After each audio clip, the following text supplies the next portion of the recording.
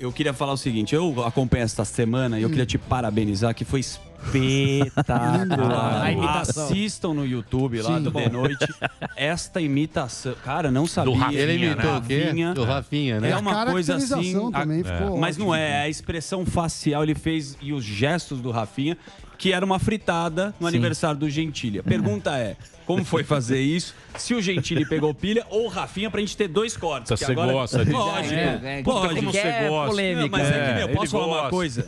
É- Ele gosta. Ele tem tantos cortes com os dois. Ele gosta. O, ca- o Gentili não sabia. Não, achei ótima a técnica. Vocês vêm e elogiam pra caramba Não, não, e depois chegou na hora, chegou na hora. É isso. Porque, a assim, macia. Eu Ele poderia gosta. falar o seguinte. Ele gosta. Eu poderia falar assim. Você foi um canalha com o Rafinha. Mas. Não fui, cara. Não, não eu fui poderia. bem, eu fui Foi- bem. Mas a sua imitação é tão boa que foi uma homenagem pro Rafinha. Sim. Liga pro Rafinha, Homenagem. Zuzu, Vamos- eu admiro. Você admira. Liga Mas pro foi Rafinha, boa? Zuzu, é pra foi? perguntar. O que foi? É, Ele pode ligar pro Rafinha. É. tá Cara, não, a ideia foi o seguinte: é o João Mesquita, que é o diretor do. Gente do- boa demais. Muito, ele é muito legal, que era produtor do CQC, inclusive.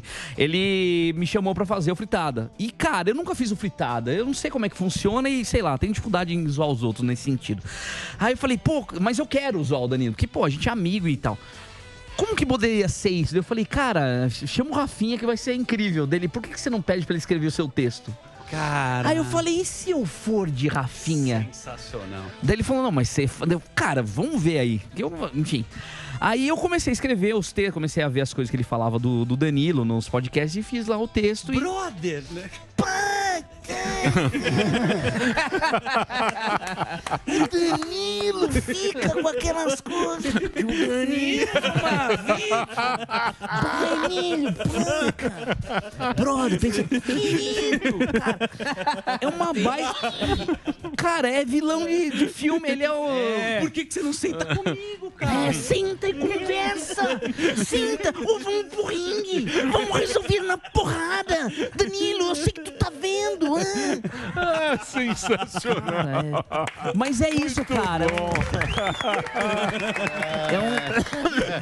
Ele chama pra conversar ou pra dar porra. É, exatamente. Ele não chama pra resolver. Não, vamos sentar. pra- Mas o que eu acho foda é, é que é isso, é que é uma, é uma caricatura. O Rafinha é uma caricatura. E é engraçado. O Rafinha é engraçado Sim. justamente Sim. por ser uma caricatura. Que A é isso- ironia dele, né? É, e ele é arrogantão, e isso é engraçado nele, assim, sabe? Daí foi, foi isso. Daí achei que seria uma boa ideia pedir o Danilo em casamento no final. Porque os dois se amam, na, na realidade. Cara, não, não consegue falar de outra coisa, meu.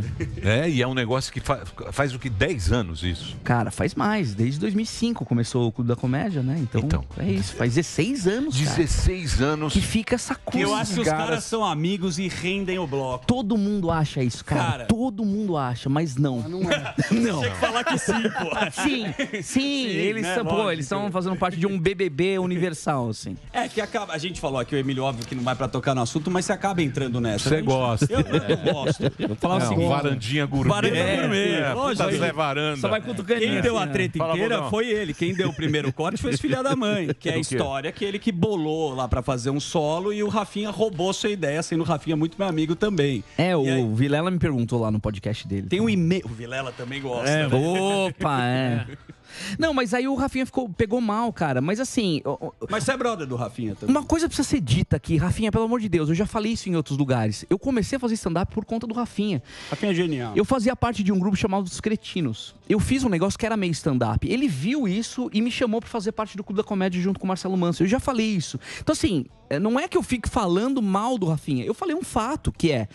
A gente, no Clube da Comédia, a gente teve... um- eu tive uma ideia lá de levar pro teatro. Por quê? Porque eu era ator e sabia Lógico. como funcionava. Tipo, meia-noite não tem nada apresentando. Ia ser bom pros Experiência, teatros. Exatamente. E daí ele foi contra. Por quê? Porque ele achava que, diz ele, que por conta de que stand-up não tinha nada a ver, de grupo, de solo, não tinha nada a ver no teatro.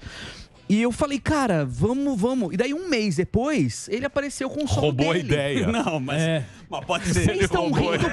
Não é É isso. o. Roubou a ideia. Foi ideia. É o Bill, Ele fala é o isso. Bill Gates. A gente Roubou, rouba muito ele ideia. roubou o Windows. Ele é que você roubou pega uma Windows. ideia que é boa, você espera um Roubou. tempo pra fazer. É, então, pois é. É um mês. Você O falou- conhecimento é um bem público. É lógico. É. Ideia não tem dono, pra começar. Aí ele ficou puto com isso, porque é um fa isso é um fato, não sou eu que tô falando, não aconteceu uma coisa entre nós dois, eu tô inventando. O Danilo tava lá, a Marcela tava lá, o Marcelo tava lá, ti- tem, tem pessoas, tem, tem é, testemunhas. Eu falei esse fato, o Rafinha ficou muito puto. Agora, é, pô, a gente erra e acerta, entendeu? Ele errou nisso, mas acertou em outras coisas, então, Foi cara... muito no passado Relaxa, também. cara. Sim. sim.